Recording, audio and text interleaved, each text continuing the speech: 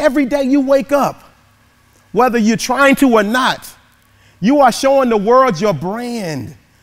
What is the brand of you? When people hear your name, do they think, oh, don't fool with him, don't fool with her, because I ain't gonna do nothing but lie and cheat to you? Or when they hear your name, they're like, yeah, that's good people. She good people, he good people. You gotta have integrity. Integrity is doing the right thing. Even when nobody is looking, it's crazy because I, hey, I had to learn about integrity the hard, the hard way. Way back when it was little bitty sixth grade, 12 year old Freddy Fri. I never forget. My dad came home with a BB gun. I was like, ooh, Dad, Daddy, is, is, is that BB gun for me? He said, son, I got you a BB gun. Now I want you to be responsible with this BB gun.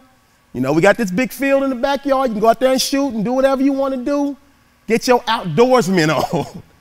I ain't heard nothing he said. I was just excited and elated to have a BB gun. So what I do? I was 12 years old. You know what I did? I got on the phone, called my best friend Squeege. I was like, Squeege, got me a BB gun. I bet you $5 I can shoot it better than you. Said, you can't shoot that BB gun better than me. I said, I bet I can. Come on my house right now. We're going to make a bet. And whoever make that can can shoot it and make it flip the most times, they going to win that $5. Bet is on. He came over to my house immediately. And we started to think, where can we shoot a can? Where can we shoot a can? And I just happened to look in my front yard. Ooh. There was this perfect tree stump sitting in the middle of the front yard. Now, my dad told me to shoot in the backyard and be responsible, but that tree, it was calling our name. I was like, man, you know, we marksmen, so ain't no big. We ain't gonna hit nothing but the, the can anyway. So, man, I set that can on that tree stump. I was like, yeah, yeah, yeah, yeah, boy. I'm about to take your $5 right now. He said, You're not going to take my 5 I said, You go first. So my friend got down on the ground, looking at that, looking at that can. He aimed, pulled the trigger, Can flipped about three times. We got, oh, you shot the can, you shot the can. We were super excited. I said, but you know what? You made it flip three times. I'm about to make it flip at least four times and I'm gonna take that money straight cash homie. So I got down on the ground. It's my turn, right? I was looking at it, I was eyeing it. I was eagle eye focused. And I pulled the trigger. Poof. Now I expected to hear ping.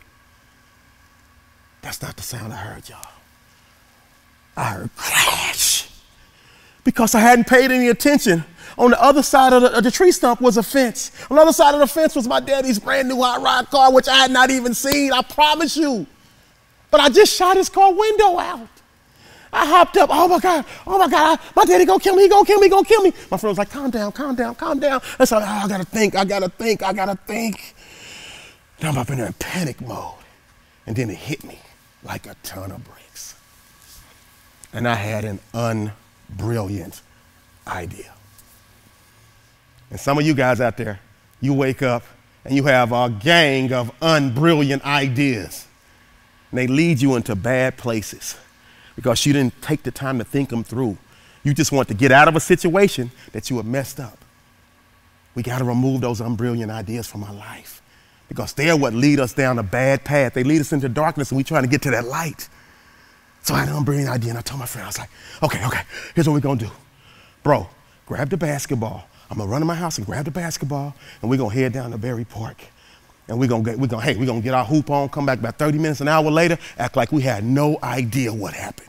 Say, man, you sure you wanna do it? Man, hey, that's what I wanna do. Now, if I had integrity, y'all know I'd have went and told my dad what had happened. But I was only 12 years old, so don't judge me. So that's what we did. We went down to Berry Park, came back an hour later, holding the basketball, jogging up. What do I see? Pop's inspecting his car. He looking around. He sees me as like, boy, you know what happened to my car window? It's like, no, sir. Dad, I've been, hey, me and Miss Squeeze been, we've been up at, at, the, at Berry Park getting our hoop on. You know, we trying to get to the league. No, I don't know what happened to your car window. Yeah, he said, you know what happened to my car window? I said, no, sir.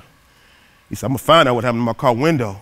We went on in the house, and I was like, oh, dude, we dodged one. Sometimes in life you think you dodged a bullet. But what happens in the dark, what's done in the dark, it always finds its way to the light. I didn't understand it at 12, but you should understand that at 22. You should understand it at 26. You should understand it at 30, 45, 50. You should understand the things that you're doing in the dark are going to come to light. Just a natural progress, the way the universe works. And it's going to come to light when you least expect it. And so I come home from school a few days later, excited, just got out of basketball practice.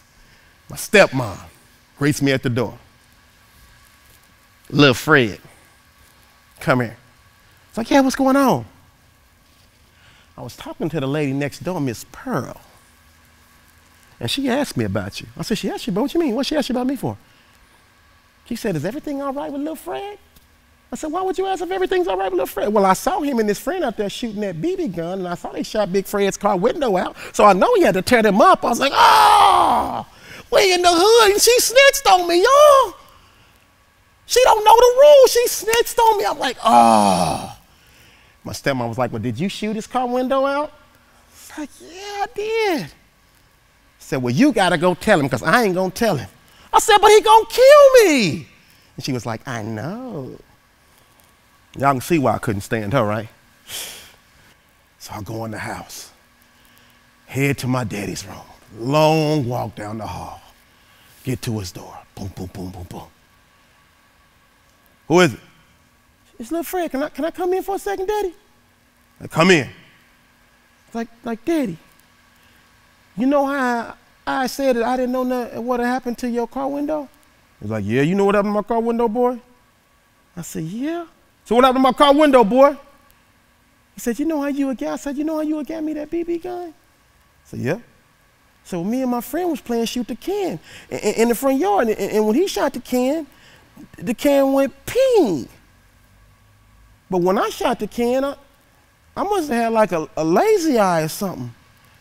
Because when I shot it, I shut your car window out. He said, You shut my car window out? Go to your room, boy. I was like, oh my God. His room was right next door to mine, but it felt like it took me forever to get there. I go in there and close the door. I'm just in there patiently waiting, scared to death, right? Seemed like it took him forever to come in. He comes in the door. But he's not by himself. He brought a friend, got a belt over his shoulder. I'm like, oh!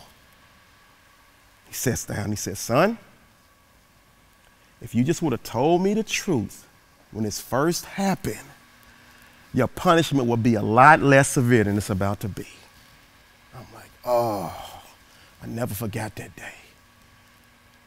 I don't know if it was the belt, I don't know if it was the sound of the car window, but whenever I'm in a situation where I'm faced with having integrity and making the right decision, whether I'm by myself or whether people around, I always remember that, remember that story and I always choose to do the right thing. I'm trying to tell each and every one of you out there it's imperative that you have integrity. People have to believe in you. People have to know that when you say you're going to do something, it's going to get done. You have to keep your credit right. Integrity will take you to places that you never thought you could go just because somebody knows that if you call, if I call you or if they call you and you say you're going to do something, they're going to be able to trust that you're going to get it done. You've got to have integrity.